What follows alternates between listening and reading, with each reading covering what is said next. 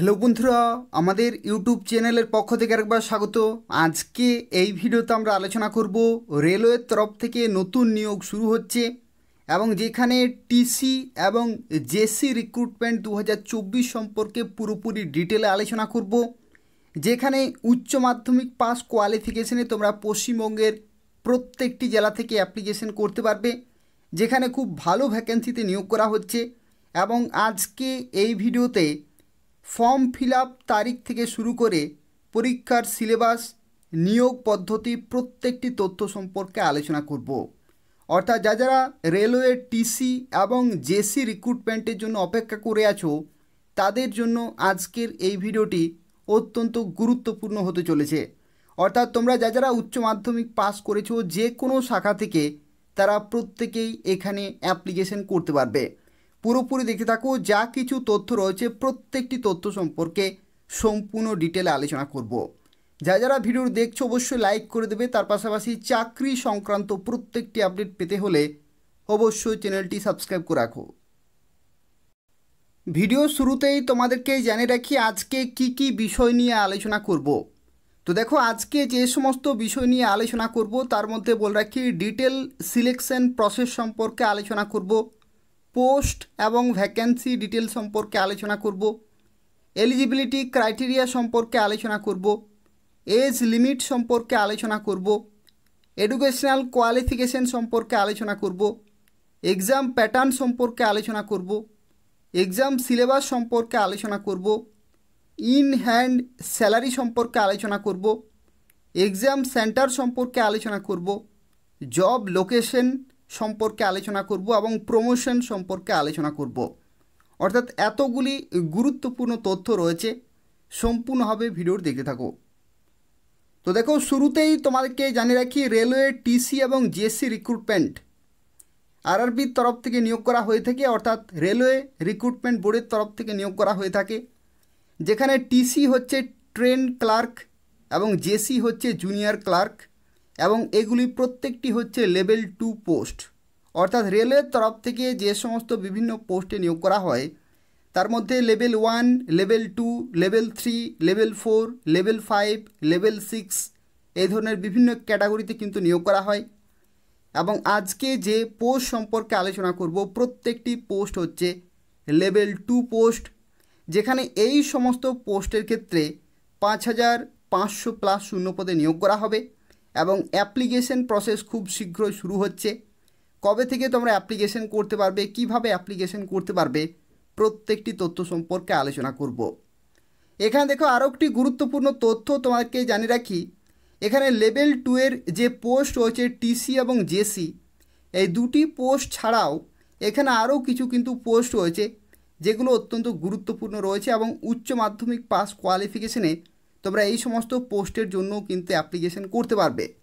যেমন দেখতে পাচ্ছ জুনিয়র ক্লার্ক কাম টাইপিস্ট রয়েছে account clerk cum typist junior time keeper commercial cum ticket clerk এগুলো অত্যন্ত মূল্যবান পোস্ট রয়েছে এবং এই সমস্ত পোস্টের জন্যও তোমরা উচ্চ মাধ্যমিক পাস কোয়ালিফিকেশন অ্যাপ্লিকেশন করতে পারবে। এবং এখানে আরও একটি এডিশনাল ইনফরমেশন তোমাকে জানিয়ে রাখি, এই যে শেষের যে পোস্টটি রয়েছে কমার্শিয়াল কাম টিকিট ক্লার্ক। এটি কিন্তু লেভেল থ্রি পোস্ট রয়েছে এবং বাকিগুলি হচ্ছে লেভেল টু এর পোস্ট। তো দেখো, শুরুতেই যে তথ্য সম্পর্কে আলোচনা করব যেটি হচ্ছে শিক্ষাগত যোগ্যতা। অর্থাৎ কারা কারা এখানে কি শিক্ষাগত যোগ্যতা অ্যাপ্লিকেশন করতে পারবে? তো এখানে এডুকেশনাল কোয়ালিফিকেশন কিন্তু উচ্চ মাধ্যমিক পাস। অর্থাৎ যে কোনো শাখা থেকে যদি তুমি উচ্চ মাধ্যমিক পাস করে থাকো, তাহলে এখানে অ্যাপ্লিকেশন করতে পারবে। যেখানে বয়সের লিমিট আঠারো থেকে তেত্রিশ জেনারেল ক্যাটাগরিতে। এখানে তোমাকে জানিয়ে রাখি, কেবলমাত্র এই বছরের জন্য কোভিড নাইন্টিনের কারণে তিন বছরে কিন্তু বয়সের ছাড় দেওয়া হচ্ছে। যে কারণে জেনারেল ক্যাটাগরিতে তেত্রিশ বছর। কিন্তু নর্মালি এই সমস্ত পোস্টের ক্ষেত্রে আঠারো থেকে তিরিশ বছর পর্যন্ত থাকে জেনারেল ক্যাটাগরিতে। কিন্তু এই বছর সবাই বাড়তি তিন বছরে কিন্তু বয়সের ছাড় পেয়ে যাচ্ছ। যে কারণে আঠারো থেকে তেত্রিশ হচ্ছে জেনারেল ক্যাটাগরিতে, আঠারো থেকে ছত্রিশ হচ্ছে ওবিসি ক্যাটাগরি এবং আঠারো থেকে আটত্রিশ হচ্ছে এসসি, এসটি ক্যাটাগরি। অর্থাৎ ওবিসিরা তিন বছরের ছাড় এবং এসসি, এসটিরা এখানে কিন্তু পাঁচ বছরের ছাড় পেয়ে যাবে। এখানে দেখো সিলেকশন প্রসেসের মধ্যে তোমাকে জানিয়ে রাখি, এখানে কিন্তু বিভিন্ন ধাপের মাধ্যমে তোমরা ফাইনালি এই গুরুত্বপূর্ণ পোস্টে চাকরি পেতে পারো। প্রথমেই তোমাদের হবে সিবিটি ওয়ান পরীক্ষা।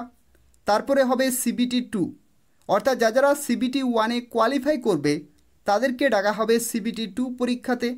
এবং সিবিটি টু পরীক্ষাতে যা যারা কোয়ালিফাই করবে, তাদেরকে ডাকা হবে টাইপিং স্কিল টেস্টে এবং তারপরে হবে মেডিকেল টেস্ট মেডিকেল টেস্টের ক্ষেত্রে তোমাকে জানিয়ে রাখি, এখানে কিন্তু ভিজন টেস্ট হবে, অর্থাৎ আই টেস্ট কিন্তু তোমাদের হবে।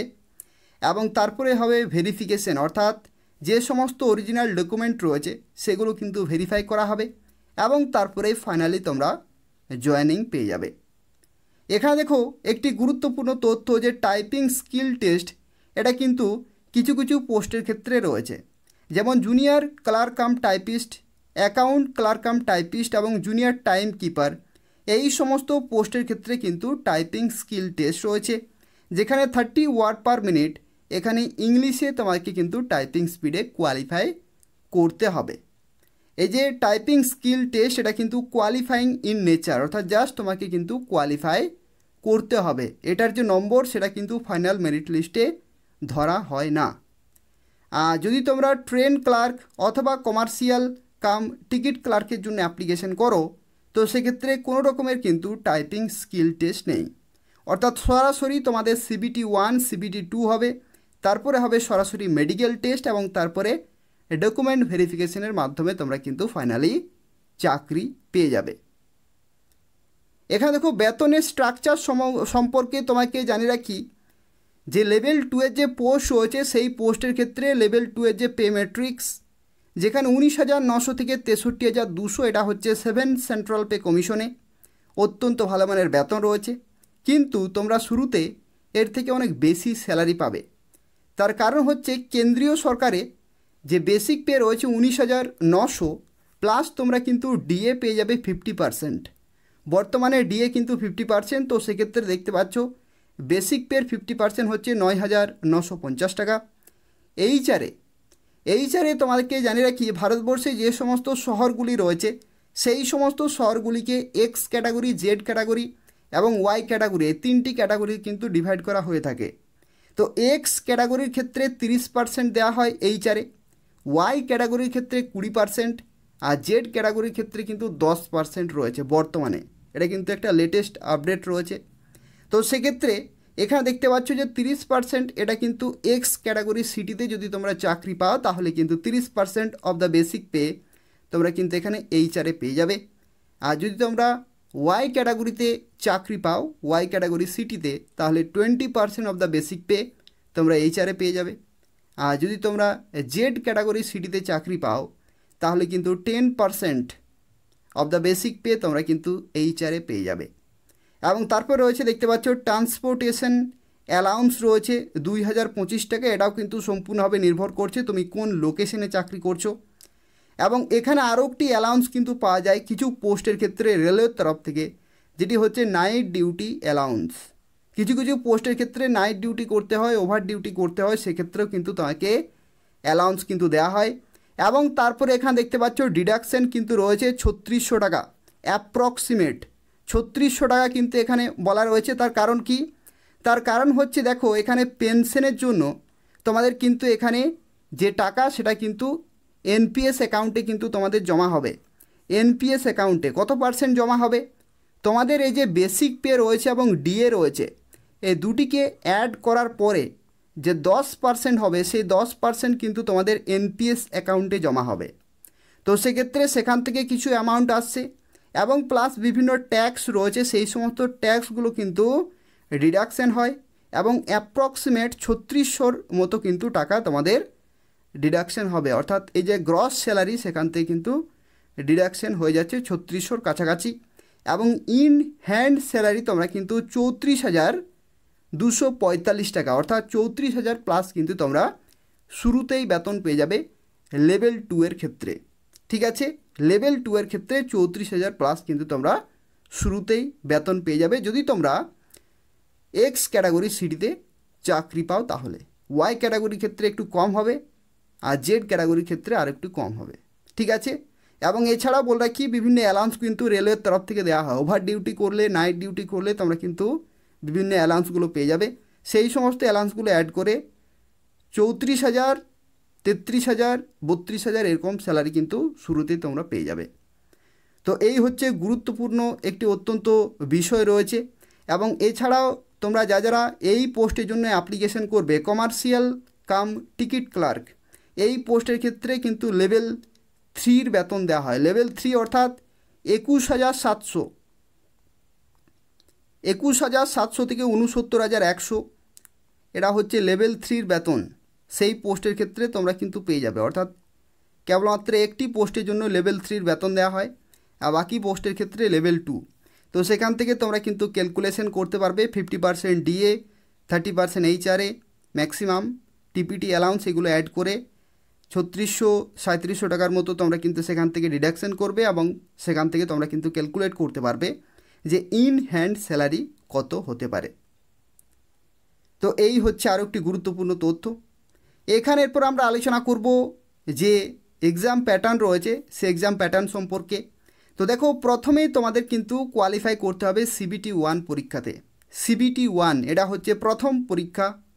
এবং এই পরীক্ষার ক্ষেত্রে তোমাদেরকে জানিয়ে রাখি এটা কিন্তু অনলাইনে পরীক্ষা হয়। অর্থাৎ পশ্চিমবঙ্গে যে সমস্ত অনলাইনে পরীক্ষা সেন্টারগুলি রয়েছে, সেই সমস্ত সেন্টারে তোমরা পরীক্ষা দিতে পারবে। আবার কিছু কিছু ক্ষেত্রে এরকমও হয়ে থাকে, তোমরা কিন্তু যে নিয়ারেস্ট যে সমস্ত স্টেটগুলি রয়েছে, যে সমস্ত রাজ্যগুলি রয়েছে, সেই সমস্ত লোকেশনেও কিন্তু পরীক্ষা সেন্টার পড়ে। তো সেক্ষেত্রে সেই লোকেশনেও কিন্তু যেতে হতে পারে। এখানে দেখো যে এক্সাম প্যাটার্ন সেখানে জেনারেল অ্যাওয়ারনেস রয়েছে, চল্লিশটি কোশ্চেন চল্লিশ নম্বর। ম্যাথামেটিক্স তিরিশটি কোশ্চেন তিরিশ নম্বর। জেনারেল ইন্টেলিজেন্স এবং রিজনিং তিরিশটি কোশ্চেন তিরিশ নম্বর। এবং টোটাল এখানে হচ্ছে একশোটি কোশ্চেন একশো নম্বরের পরীক্ষা এবং টোটাল টাইম কিন্তু থাকছে নব্বই মিনিট। নব্বই মিনিটে কিন্তু তোমাকে একশোটি কোশ্চেন একশো নম্বরে কিন্তু পরীক্ষা দিতে হচ্ছে। এবং নেগেটিভ মার্কিং থাকবে ওয়ান বাই থার্ড যেখানে যদি তোমরা পিডাব্লিউডি স্ক্রাইব নিয়ে যাও, অর্থাৎ লেখক নিয়ে যাও পিডাব্লিউডি ক্যান্ডিডেটের ক্ষেত্রে যারা লিখতে পারে না, তাদের ক্ষেত্রে যা যারা লেখক নিয়ে যাবে পিডাব্লিউডি ক্যান্ডিডেট তাদের ক্ষেত্রে কিন্তু এখানে একশো কুড়ি মিনিট সময় কিন্তু থাকে। এখানে তোমাকে জানিয়ে রাখি পিডাব্লিউডি ক্যান্ডিডেটের ক্ষেত্রে প্রতি ষাট মিনিটে, প্রতি ষাট মিনিটে কুড়ি মিনিট কিন্তু সময় বেশি দেওয়া হয়, প্রতি ষাট মিনিটে। তো দেখো এখানে টোটাল কিন্তু নব্বই মিনিট হচ্ছে, অর্থাৎ ষাট প্লাস ত্রিশ, অর্থাৎ এখানে এখানে আধ ঘণ্টা কিন্তু বেশি থাকছে, তো যে কারণে এখানে আরও দশ মিনিট অ্যাড হয়ে যাচ্ছে। যার কারণে তিরিশ মিনিট তারা কিন্তু বাড়তি সময় পাচ্ছে, অর্থাৎ নব্বই প্লাস তিরিশ, অর্থাৎ এখানে কিন্তু একশো কুড়ি মিনিট তারা সময় পাচ্ছে। যা যারা পিডাব্লিউডি এবং স্ক্রাইব নিয়ে যাবে। এবং তারপরে এখানে দেখতে পাচ্ছ সিবিটি ওয়ান পরীক্ষা কিন্তু কোয়ালিফাইং ইন নেচার অর্থাৎ এই নম্বর কিন্তু ফাইনাল মেরিট লিস্টে ধরা হবে না। কিন্তু তোমাকে এই পরীক্ষাতে কিন্তু কোয়ালিফাই করতে হবে। তাহলেই তোমরা সিবিটি টু পরীক্ষাতে যেতে পারবে। এবং কোশ্চেন পেপার কিন্তু ক্লাস টুয়েলভ স্ট্যান্ডার্ড এখানে কোশ্চেন পেপার সেট করা হয় উচ্চ মাধ্যমিক লেভেলে এবং পরীক্ষা সেন্টার যেটা তোমাদেরকে বললাম যে ওয়েস্ট বেঙ্গলে যে সমস্ত অনলাইনে সেন্টারগুলি রয়েছে অথবা নিয়ারেস্ট স্টেট স্টেটে কিন্তু পরীক্ষা সেন্টার পড়ে থাকে যখন অনেক বেশি ক্যান্ডিডেট অ্যাপ্লাই করে। তো সেক্ষেত্রে এরকম কিন্তু হয়ে থাকে। এরপর দেখো সিবিটি টু যে পরীক্ষা, সেই সিবিটি টু পরীক্ষার ক্ষেত্রে দেখতে পাচ্ছ জেনারেল অ্যাওয়ারনেস পঞ্চাশটি কোশ্চেন পঞ্চাশ নম্বর ম্যাথামেটিক্সে পঁয়ত্রিশটি কোশ্চেন পঁয়ত্রিশ নম্বর জেনারেল ইন্টেলিজেন্স এবং রিজনিং পঁয়ত্রিশটি কোশ্চেন পঁয়ত্রিশ নম্বর, অর্থাৎ এখানে একশো কুড়িটি কোশ্চেন একশো কুড়ি নম্বরের পরীক্ষা এবং এখানে কিন্তু নব্বই মিনিট টোটাল সময় কিন্তু থাকছে। এবং এখানে দেখতে পাচ্ছ নেগেটিভ মার্কিং কিন্তু রয়েছে one by third PWD scribe যারা যারা নিয়ে যাবে তাদের ক্ষেত্রে একশো কুড়ি মিনিট সময় থাকছে এবং এই নম্বর কিন্তু ফাইনাল মেরিট লিস্টে কিন্তু ধরা হয়। অর্থাৎ যে ফাইনাল মেরিট লিস্ট তৈরি হয় সেটা কিন্তু এই নম্বরের ভিত্তিতে হয়ে থাকে এবং এখানে কোশ্চেন পেপার কিন্তু ক্লাস টুয়েলভ স্ট্যান্ডার্ড সেট করা হয় এবং পশ্চিমবঙ্গে এবং নিয়ারেস্ট স্টেটে কিন্তু পরীক্ষা সেন্টার হয়ে থাকে।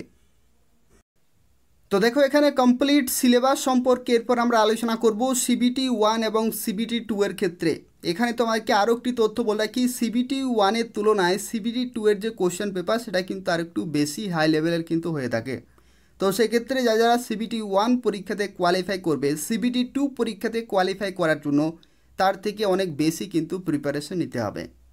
এখানে দেখো ম্যাথামেটিক্স রয়েছে এবং যে ম্যাথামেটিক্সের ক্ষেত্রে যে সমস্ত টপিকগুলি তোমাকে পড়তে হবে, তার মধ্যে রয়েছে নাম্বার সিস্টেম রয়েছে decimal fraction LCM HCF ratio proportion percentage mensuration time and work time and distance simple and compound interest profit and loss elementary algebra রয়েছে জিওমেট্রি রয়েছে ট্রিগোনোমেট্রি রয়েছে এবং এলিমেন্টারি স্ট্যাটিস্টিক্স রয়েছে।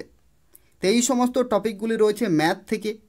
জেনারেল ইন্টেলিজেন্স এবং reasoning থেকে দেখতে পাচ্ছ analogy completion of number and alphabetical series রয়েছে কোডিং ডিকোডিং রয়েছে।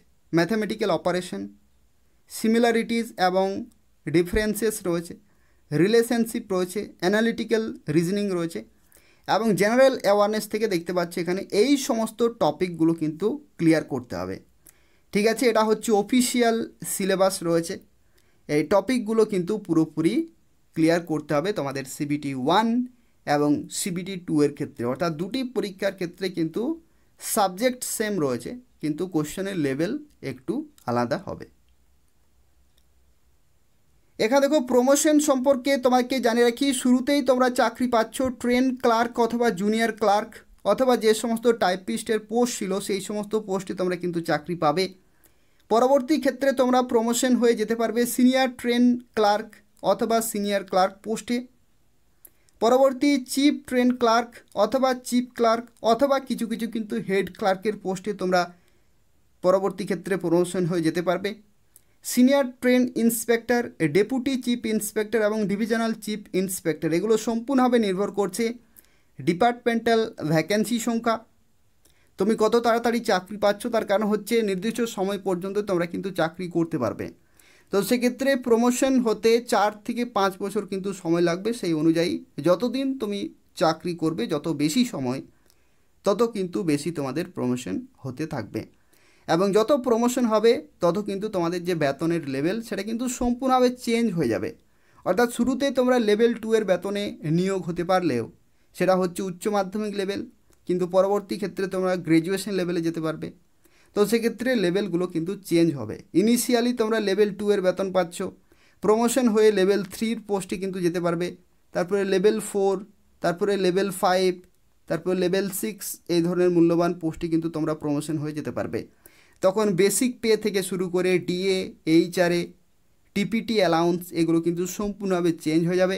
পুরো বেতনের স্ট্রাকচার কিন্তু পুরোপুরি চেঞ্জ হয়ে যাবে। তো সেক্ষেত্রে অত্যন্ত ভালো কিন্তু সুযোগ রয়েছে, খুব ভালো বেতন রয়েছে বিভিন্ন পোস্টের জন্য।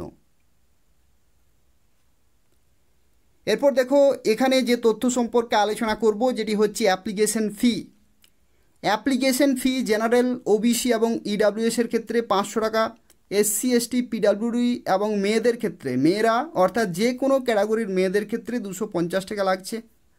রিফান্ড পলিসি তোমাকে জানিয়ে রাখি রেলওয়ের তরফ থেকে, যে সিবিটি ওয়ান পরীক্ষা রয়েছে, সেই সিবিটি ওয়ান পরীক্ষা হয়ে যাওয়ার পরে যারা যারা জেনারেল, ওবিসি এবং ইডাব্লিউএস চারশো টাকা রিফান্ড পেয়ে যাবে। এসসি, এসটি, পিডাব্লিউডি ফিমেল, তারা দুশো পঞ্চাশ টাকা পুরোপুরি কিন্তু রিফান্ড পেয়ে যাবে। এবং এখানে নোটিফিকেশন কবে আসবে? নোটিফিকেশান আসবে জুলাই মাঝামাঝি সময় অথবা আগস্ট, আগস্টের শুরুর দিকে, ঠিক আছে? আগস্টের শুরু, জুলাইয়ের শেষের দিকে যদি না আসে তাহলে আগস্টের শুরুর দিকে কিন্তু চলে আসবে এবং তখন থেকে কিন্তু তোমরা অ্যাপ্লিকেশন করতে পারবে, ঠিক আছে? এবং এই যে নোটিফিকেশান সেটা কিন্তু কেবলমাত্র দু হাজার জন্য শুধুই নয়, প্রতি বছর কিন্তু এইভাবেই নোটিফিকেশান আসবে এবং অ্যাপ্লিকেশন চলবে। অর্থাৎ জুলাইয়ে নোটিফিকেশান আসবে, আগস্টে অ্যাপ্লিকেশান শুরু হবে, বা জুলাইয়ের শুরুতেই নোটিফিকেশান আসতে পারে, জুলাইয়ের মাঝামাঝি সময় থেকে অ্যাপ্লিকেশান শুরু হয়ে যাবে, আগস্ট পর্যন্ত চলবে। এইভাবে কিন্তু প্রতি বছর নোটিফিকেশান আসবে এবং অ্যাপ্লিকেশান চলবে। এবং পরীক্ষা তোমাদের হবে ডিসেম্বরে, যদি ডিসেম্বরে না হয়, কারণ হচ্ছে লেভেল ওয়ানের পরীক্ষা কিন্তু ডিসেম্বরে হবে। তো সেক্ষেত্রে লেভেল টু এর পরীক্ষা জানুয়ারিতে হতে পারে। অর্থাৎ ডিসেম্বরে যদি না হয়, তাহলে জানুয়ারিতে কিন্তু হবে। প্রতি বছরের এটা কিন্তু একটা ঘটনা রয়েছে। রেলের তরফ থেকে যে ক্যালেন্ডার জারি হয়েছে, সেই ক্যালেন্ডার অনুযায়ী এভাবেই কিন্তু নোটিফিকেশান আসবে এবং নির্দিষ্ট সময়ে কিন্তু তোমাদের পরীক্ষা হবে। তো এই হচ্ছে সম্পূর্ণ তথ্য। যারা যারা অ্যাপ্লিকেশন করতে চাইছো, এই ভিডিওর ডেসক্রিপশান বক্সে লিঙ্ক রয়েছে। সেখান থেকে তোমরা নির্দিষ্ট সময়ের মধ্যে অ্যাপ্লিকেশন পুরোপুরি কমপ্লিট করতে পারবে। যেখানে উচ্চ মাধ্যমিক পাস কিন্তু চাকরি রয়েছে। পুরোপুরি পারমানেন্ট এবং সম্পূর্ণভাবে সরকারি চাকরি রয়েছে, অত্যন্ত ভালো মানের বেতন রয়েছে এবং পশ্চিমবঙ্গের প্রত্যেকটি জেলার ক্যান্ডিডেট এখানে অ্যাপ্লিকেশন করতে পারবে। তো সেক্ষেত্রে সুবর্ণ সুযোগ রয়েছে। অবশ্যই অ্যাপ্লিকেশন পুরোপুরি কমপ্লিট করে দেবে। আর বলে রাখি, যারা যারা প্রথমবার এই চ্যানেল ভিজিট করেছ বা প্রথমবার ভিডিও দেখছ, তাদের ক্ষেত্রে বলে রাখি চ্যানেলটি অবশ্যই সাবস্ক্রাইব করে রাখো। নিয়মিত চাকরি বিজ্ঞপ্তিগুলি পাওয়ার জন্য। তার কারণ হচ্ছে এই চ্যানেল থেকে তোমরা প্রতিদিন পশ্চিমবঙ্গের এবং কেন্দ্রীয় সরকারের গুরুত্বপূর্ণ চাকরি বিজ্ঞপ্তিগুলি সময় মতো পেয়ে যাবে। ধন্যবাদ।